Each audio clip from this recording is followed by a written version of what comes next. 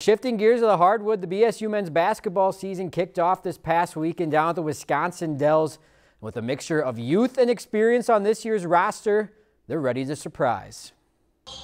The Beavers are back on the hardwood and finally got some game action this past weekend in the NSIC MIAA Classic. It was a great test for us. We got to go play Lindenwood and Central Mo, who are two of the top teams in their conference. So we got to see what, what we did wrong and what we can improve on, but we also got to see where what our strengths are. And with conference season right around the corner, this roster mixed with young and experienced players are still building the chemistry. We have a pretty good nucleus of guys, but there's still you know, a lot of guys that are new to the system that we're still trying to figure out and how we're going to utilize them. That includes sophomore captain Kyle Sorensen, finally seeing his first action as a Beaver. He hasn't played in a couple, two and a half years. Some of the things that we're counting on him are, you know, outside shooting, good decision making, being really smart, a good passer from the post play. Offensively, they'll once again lean on their top two returning scorers, Javion Green and Sharif Black, along with senior guard Christian Bakaric, but also hope to get big minutes off the bench from sophomore forward Lucas Wen,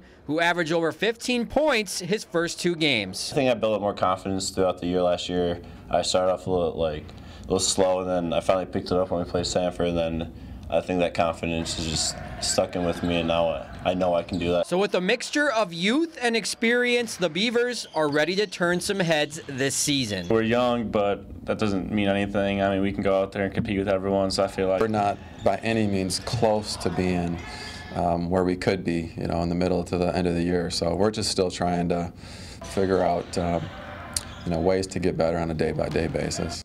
So busy weekend ahead for the Beavers. Three games total on the schedule, all at home, kicking off with Valley City State Friday at 6. If you've enjoyed this segment of Lakeland News, please consider making a tax-deductible contribution to Lakeland Public Television.